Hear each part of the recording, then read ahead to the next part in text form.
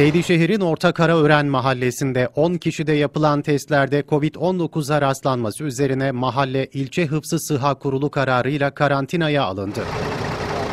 Mahalle muhtarı Ayşe Demir, karantinanın bir hafta süreceğini ifade ederek mahallede filyasyon ekibinin çalışmalara başladığını belirtti.